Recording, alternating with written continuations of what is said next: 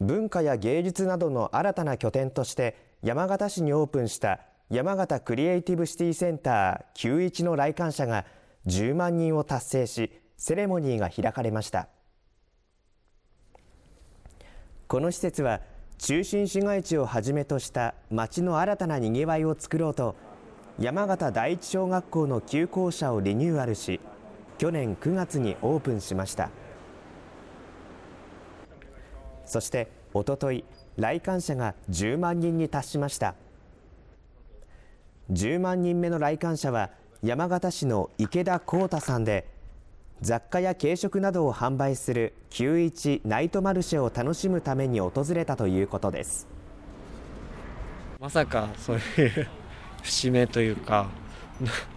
になるとは思ってなかったのですごいびっくりしました、うん、池田さんには施設内にあるカフェの焼き菓子などが贈られました。91が山形の日常の中になんとなくこう溶け込み始めてるっていうのがまず嬉しいです。